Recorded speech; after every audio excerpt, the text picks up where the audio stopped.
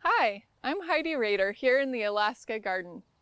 I'm with UAF Cooperative Extension Service and Tanana Chiefs Conference, and I'll be talking all about growing vegetables, flowers, and berries in your garden and farm.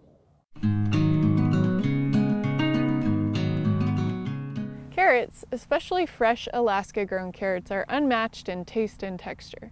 A favorite of kids and adults alike, they're excellent raw, in soups or stews, roasted, or even fermented. Carrot tops can also be eaten. I like to use them to make broth, juice, and pesto. With proper thinning and well-drained, loose soil, carrots thrive in Alaska. The biggest challenge with growing them is probably getting the spacing right and keeping them weeded. Carrot seeds are tiny, so you almost always have to thin after they emerge. Carrots should be planted early in the spring when the soil warms to at least 50 degrees Fahrenheit. Plant seeds half an inch deep in five rows, six inches apart to maximize production. Thin to about one and a quarter inches. Harvest carrots when their tops are visible and you can tell that they are decent size. While carrots can be a little finicky, I think we can all agree they are worth the effort. Some people like to use seed tape or a seeder and pelleted seeds to get their spacing just right, or even a paper pot transplanter. But if you don't plant thickly enough and you have poor germination rates, you'll also have low yields. Germination can also take quite a few days, about two weeks and longer in cool soils.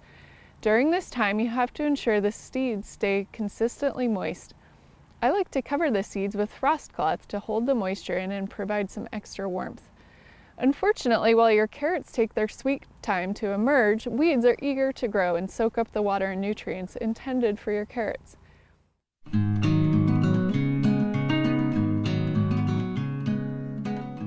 Variety trials are important because available seed varieties are constantly changing and perform differently where they are bred and tested than in Alaska. In Fairbanks, we've trialed carrot varieties since 2017 Top performers included Napoli, Bolero, Scarlet Nantes, Nantes Half Long, and Napa. Sugar Snacks 54 and Yaya performed worst in our trials.